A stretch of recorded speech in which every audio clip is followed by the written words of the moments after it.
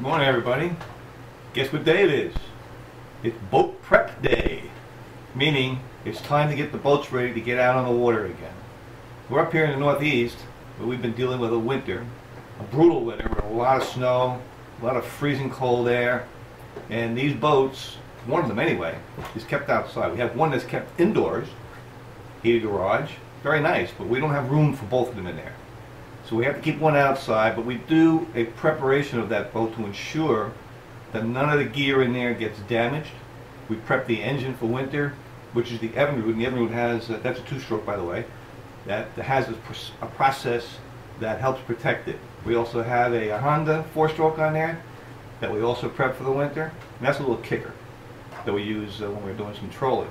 But we prep the boat prior to the winter by pulling out all the gear that, that could be damaged by freezing cold weather. And a lot of that's right here. A lot of this is stuff that's safety gear, and some of it is just stuff you need to have on the boat to perform regular maintenance, to protect it, flares, etc., etc. So we're going to go through some of those things right now. But we're going to be pulling out the boat we keep outside today, and we'll film some of that to show you what we do. We, uh, we keep it up on jacks, a whole you- you'll, you'll see the whole thing. All right, let's start with some of the stuff we do keep on that boat, but we pull out. One of them is a toolbox in plastic. It's sealed. It's got all the tools you need to do maintenance on that boat. If you run into something, changing plugs, changing nuts, bolts, screws, small toolbox. Doesn't need to be big, doesn't need to have a whole bunch of stuff in it, but you need to have a good set of tools. Another piece of gear. I don't know if everybody carries this. To tow a boat, you need to have it. Patch. You get a flat on the road, got a nail in that tire, whether it be the vehicle or the boat, this is something that's going to get you through the day. So you need to get a tire patch. The next thing to keep on the boat, I don't know if everybody does this, but these are jumper cables. How many times you been out on the water, that engine goes off and on, off and on all day long.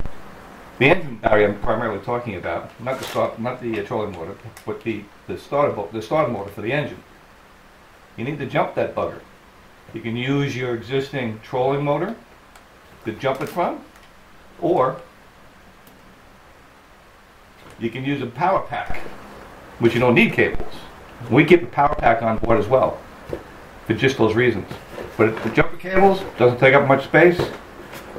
Engine goes, the, the engine battery goes bad. Hook it up to your starter motor battery, uh, battery, and off you go. So you're ready, ready to get to point B. The next thing we do, or have, this is a complete set of clothes. Both winter and summer. Hey, let, let's face it, sometimes you fall in the water. you know, especially in the bays, because we do take our boats to the bays. That's, you know, that's, that's ocean water. And it's not nice to be standing around there all day long if you fall in and uh, with wet clothes. Just if the water is cold. We vacuum seal it in bags like this, and we keep it on the boat all year. It stays dry, it stays protected. You get chucked in the water, you got a full change of clothes in here, including underwear and socks. Do yourself a favor. Put a set of clothes on your boat. Then we have some lubricants. WD-40. Everybody has to have WD-40 on their boat. You just cannot get away with not having this stuff on your boat. It protects everything. It loosens everything. This is great stuff. You can use it for bait lure. Some guys do. They say it works. We never have, but it might work. But we always keep a can of it. And another thing we do, because it's a wet environment and salt water, we do take our boats on the salt water, and we'll go into that a little bit later. But we put it in a plastic bag. The salt water gets out these cans, rust time. Put them in a baggie, seal it, roll all the air out of it, seal it, protect it. Salt water gets out it, even fresh water, it sits in there for any length of time down one of your lockers at the bottom, it's gonna get rusty. It might not work. Keep it in a plastic bag. The next thing we have is called 656 Marine Lubricant. We take our boats uh, on in, in the back bay, which is salt water again. And even for fresh, we should use this. This will protect that engine. We pull it out at the end of the day. not every time, maybe once a month, we'll completely spray that engine with this stuff. It will not damage wiring. It will not damage anything in that engine. It's made to protect it against corrosion, especially saltwater environments. Good stuff. Now, a lot of guys use WD-40 to spray their wiring, but we heard stories where this stuff could have an adverse impact on the wiring. We don't want to go there. Next thing we keep on board, carburetor cleaner. We use it on that little pain in the butt four-stroke we have, believe it or not, to sometimes get it started. Uh, we've been monkeying with that thing for a long time to figure out why it's so hard to get started. And sometimes you need to have some help in this stuff. Keep it on board, a couple of squirts in the carburetor throttle body, although it is uh, injectors, but there is a, a, throttle, a throttle area in there, we think. Whatever. We spray it in there. We're not mechanics. we spray it in there, boom, thing will start right off. We also keep this, because it's a can, in a plastic baggie. Again, we're not professional engine guys. We know how to change plugs, but that's about the extent of it. And changing oil.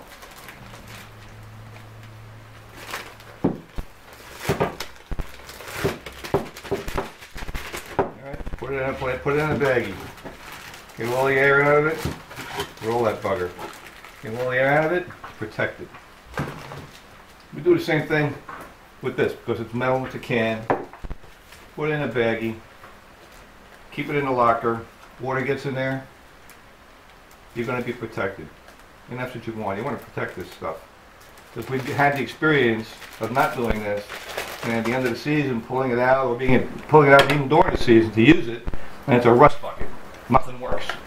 So we stuff it in. We change these bags every season. Roll the air out of it, seal it. Next, plastic containers. I've seen a lot of boats where the gear, such as flares and all the, you know, the safety equipment that you keep around a boat, is scattered in the lockers. Just hang around in there. But this is, you know, we have light sticks in here, we've got batteries. Again, we got the flares. We got to make sure that it's a current date. Safety requirements in Jersey are you have to have current current flares. And if you don't, ticket time. So make sure your flares are up to date. They might look good, they probably are good. But the guys on the boat with the red lights on them, they don't care. They look for the dates. The date isn't current, ticket time. But we have a plastic container for that, which is watertight. Again, keep the water out. Even though it's in a locker, you think it's protected, water gets in there. And then we have this one. This one we have fuses, plugs, uh, saw blades, some uh, extra tools, fuses, I mean, all this stuff is gears for your uh, trailer. You know, bearings. Everything is kept in here. And again, watertight plastic container. Everything is organized and it's kept in one spot. So you, you can go to it, pull it out. We got names on here, what's in here. Everything. You don't need to hunt around in your locker for this. Okay, we told you we clean up, we take our boat to salt water, right? And we do and it's aluminum, both of them. Aluminum is probably not the best boat to use in salt water environments, no question about it, we know it. But we like to do a little salt water. We don't go into the big ocean, we go into the bays. But nevertheless, it's still salt water. But every time we go there, we thoroughly wash that boat down. I mean thoroughly. And we even wash it down with this kind of soap. Turtle Wax, super foaming car wash. It protects the boat. We do the inside and the outside, the trailer, the tires, everything gets a solid wash of this stuff. And that's without fail. So if you've got an aluminum boat and you're in slow water, you need to wash that bugger thoroughly. And we do.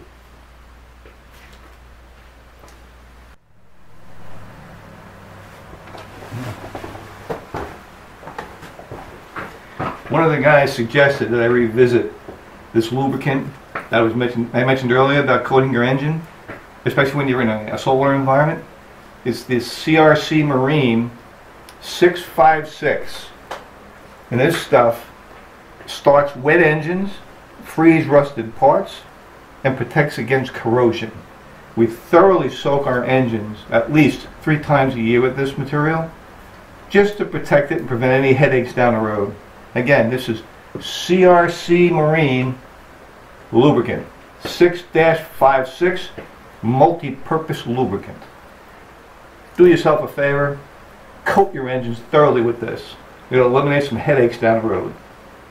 Lastly, not lastly, but also, safety equipment, in addition to the flares I mentioned earlier that we keep locked up in a watertight container, we carry two extinguishers on our boat. That's two. You never know. Small ones, they come stock with the boat.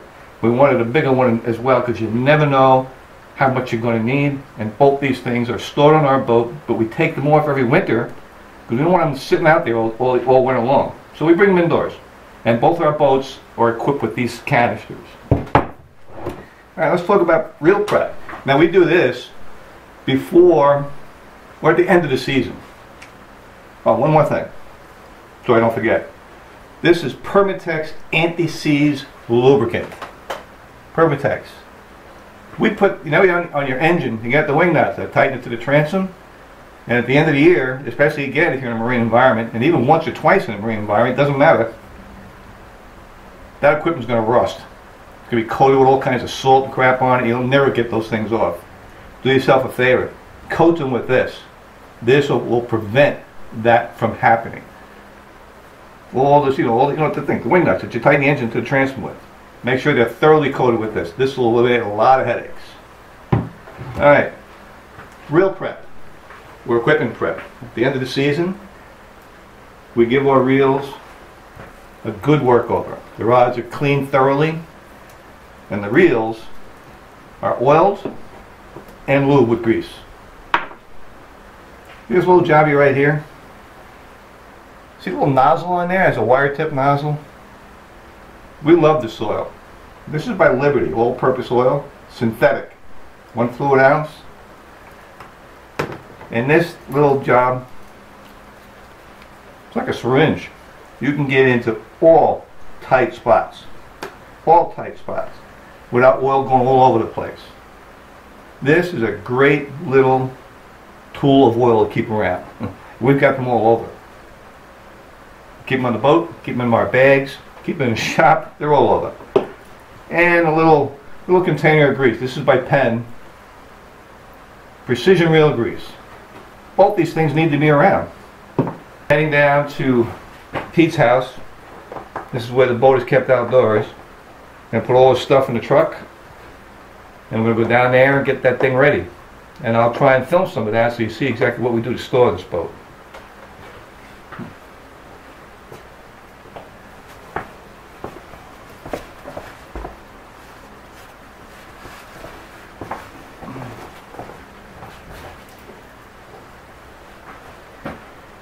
After we're done lubricating the, this gear, the new Aris rod that we picked up recently, 7 foot 1 inch, medium, medium power fast action.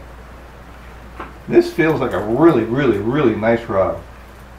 And one of the guys, one of our visitors, suggested we try the Pflueger, bait caster. So we got one of these Pfluegers, 10 bearing, nice reel. And it feels well balanced and it's really light.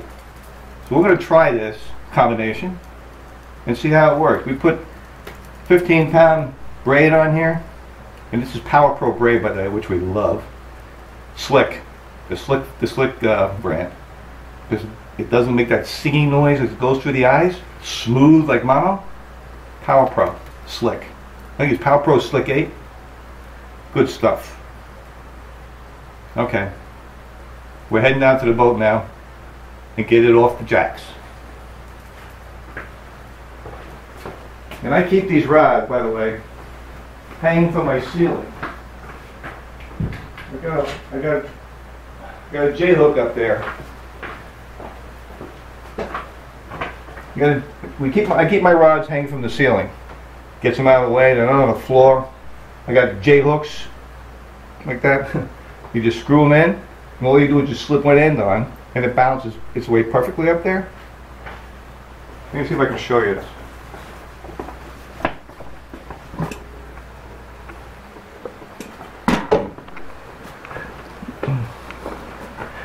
That's all my rods. Probably a little bit overkill, right? but you gotta have rods. Salt water, freshwater, bait casters, spinners. I keep them up there on those J hooks. I don't know if you can see them, but I just sit them up here. Very easy to do. They balance up there, and you keep them out of, off the floor so you don't walk on them, trip over them. Does a great job. We're down here to open up our boat for the season. Mazel tov. Mazel tov. Mazel tov. This is the one boat we keep outside. We're gonna have a movie too. That's Yeah. Now Pete built this. This is really nice. This secure. This is a security screen. This is a security screen, and he's done a beautiful job.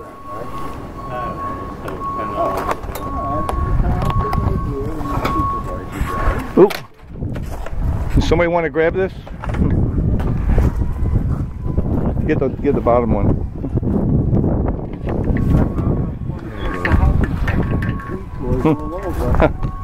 What it was, I had to make a U-turn. I'm sorry to hear it. Yeah. And that screen folds in there, and that's a security screen. On windy days. Now, on windy days, it could be an issue, but for the most part, it works pretty good. Gotta go slow. You got to walk it slow. It's Not going. Yeah, it's going. Yeah, it's going. It's going. Slow and easy.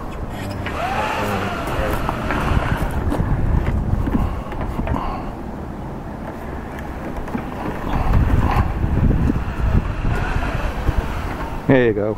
Yeah, you got it. And we have a tarp on our boat. Oh, what a job. We have a tarp. Is that a new tarp? Well, yeah, it's newer than the other one that was there. Yeah. Oh, You don't have to move it, Pete. Ah. Right, and this boat comes with a, this trailer comes with a swing arm, which is pretty neat. With some heavy duty locks on here. Anybody wants to steal this thing, they better come with a freaking jackhammer with a blowtorch and get those locks off there. You know, and we got these bungees that we put on here for the top, which makes it easy to get off and on. And the, the boat we jack up. SOB demented is at work. The boat we jack up, we take the tires off the ground. It's just like that all winter, but it's fully covered. Fully covered. I'm gonna check the air on the tires. They're probably a little low. We're going to check everything. Yeah. They're loose, yeah. Well, We got to put the batteries in. We got to do everything. Alright.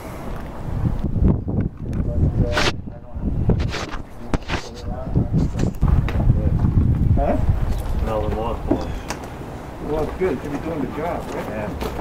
Yeah, it's keeping the creeps, keeping the creatures out, huh? Coral now.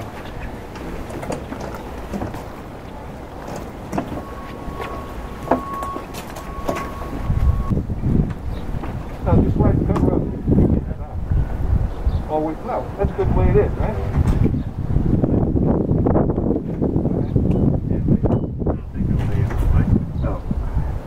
Okay. As soon as I get up, I'm fine, fine. And then after a few minutes, it kicks in. Take one of the cushions, No, I'm good, I'm good. put it on here. No, I'm fine right now, I haven't seen anything. That's it. Might as well lower it first, I guess. Lower it? Yeah. Gotta take it off the.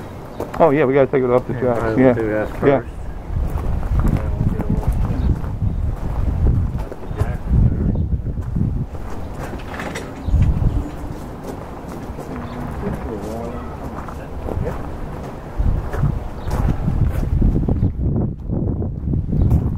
And now we're going to get the boat down off the jack.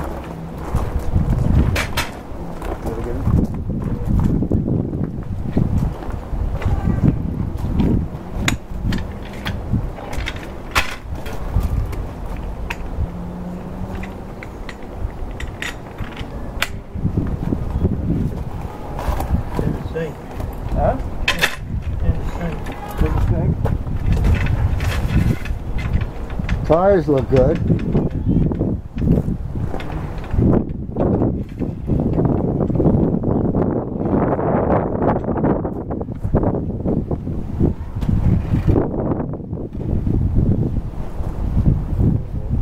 Yeah, that's good.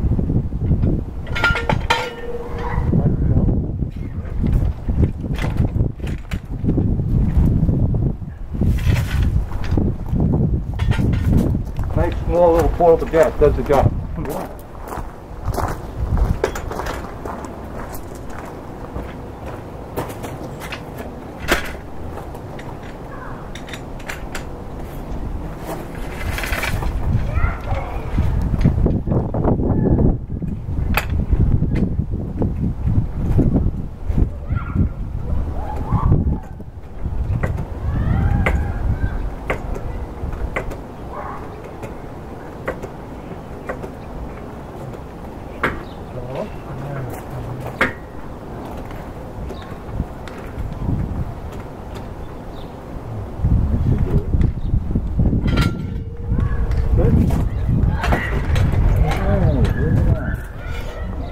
It works, huh?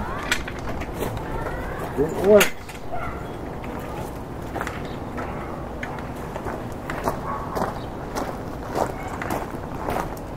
Gorgeous day today. I, uh,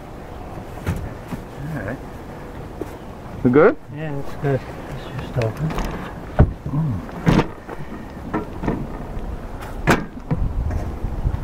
Probably it. Huh?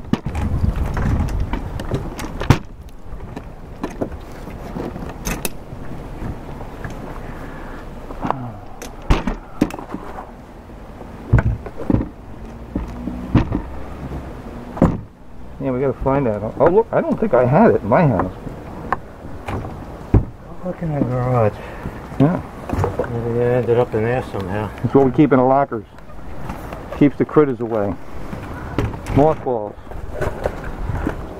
Mothballs. Keep the critters away.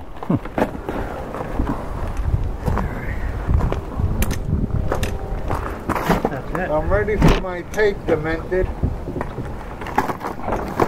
That's it. That, that is a retired teacher. And that explains everything. Right. Showing you new, That's right. Oh yeah. We got some new cleats. In the old days, the old ones, we used to wipe the boat down and they were so sharp on the edges, used to cut our hands. Now we got these new ones. They pop up. Where the boat's got a sink They pop up. When you down them, Yeah. they slide down. New cleats. Up, down. Beautiful. Beautiful. Another toy for the little boy.